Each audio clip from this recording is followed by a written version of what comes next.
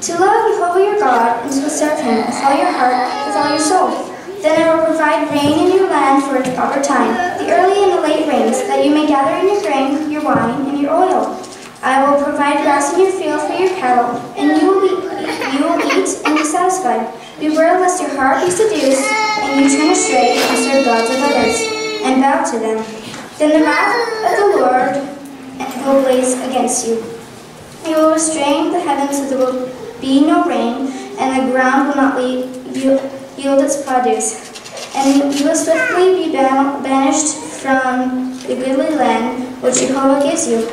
Place these words of mine upon your heart and upon your soul, and bind them for a sign upon your arm, and let them be tefillin between your eyes. Teach them to your children to discuss them while you sit your home and while you walk on the way, when you retire and when you rise. Bind them as a sign of, oh wait, no, sorry. And write them on the doorposts of your house and upon your gates, in order, in order to prolong the days and the days of your children upon the ground that the Jehovah has sworn to give your ancestors, to your ancestors to give them, like the days of heaven on earth. As certain, certain and established and enduring, fair and faithful, loving and cherished, delightful and pleasant, awesome and powerful, correct and accepted, good and beautiful is his affirmation to us forever and ever. True, the God of the universe is our King. The rock of Jacob is the shield of our salvation. From the generation to generation he endures, and his name endures, and his throne is well established. His sovereignty and faithfulness endure forever. His words are living and enduring, faithful and delightful forever to all eternity. For our forefathers and for us, for our children and for our generations, for all of the generations of your servants, Israel's offspring.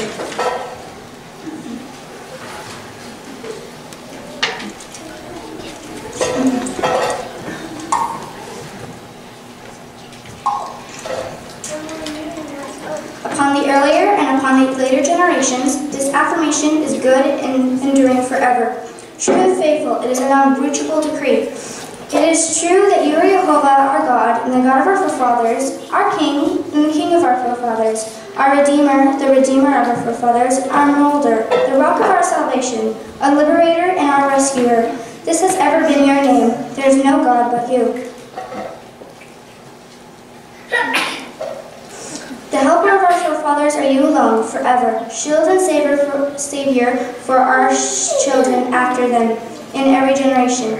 At the zenith of the universe is your dwelling, and your justice and your righteousness extend to the ends of the earth. Praiseworthy is the person who obeys your commandments and takes to his heart your teaching and your word. True, you are the master for your people and a mighty king to take up their grievance.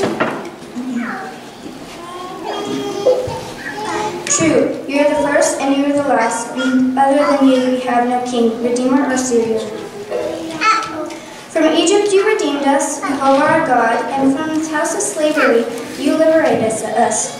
All our, their firstborn you slew, but your firstborn you redeemed. The sea of reeds you split, the wanderer sinners you drowned, the dear ones you brought across, and the water covered their foes. Not one of them was left. For this, the beloved, and praised and exalted God, the dear ones offer hymns, songs and praises and blessings and thanksgivings to the King, the living and enduring God, exalted and uplifted, great and awesome, who humbles the haughty and lifts the lowly, withdraws the captive, liberates the humble, and helps the poor, who responds to his people upon their upright to him. Praises to the supreme God, the blessed one who is blessed. Moses and the children of Israel exclaimed a song to you with great joy, and they all said, Mika